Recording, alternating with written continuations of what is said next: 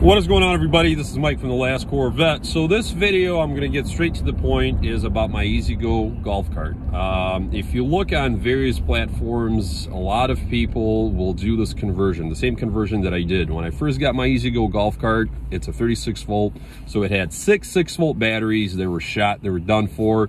Being that it's a privately owned golf cart, stock tires, stock motor, I don't, you know, take it off-roading, gravel roads, up the hills, just basically flat land, um, you know, nothing too crazy, right?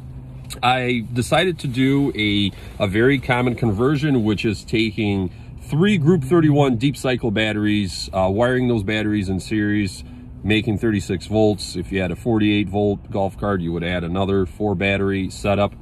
But long story short, when people make this conversion, everybody raves about, yeah, it drives great, all this and that, but nobody actually replies back with the actual mileage.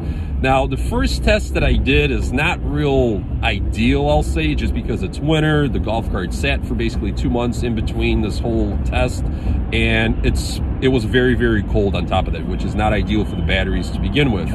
So what I did is when I uh, fully charged my batteries, we'll say about two months ago, I um, set my trip on my phone, which is very accurate, and I was able to get just over 10 miles to a full charge. And of course, my guess and my estimate that during the summer, during warmer weather, I'll probably get close to maybe 15, 12 miles to a full charge just out of the three batteries, which is not that bad if you really think about it.